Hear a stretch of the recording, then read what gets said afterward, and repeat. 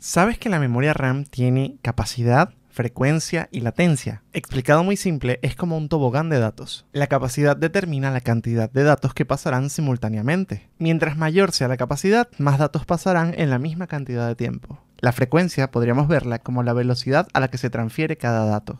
Y la latencia sería la inclinación del tobogán por el que se desplazan los datos. Cuando vayas a elegir tu memoria RAM, encuentra el balance entre baja latencia, alta frecuencia y la mayor capacidad que te permita tu placa base.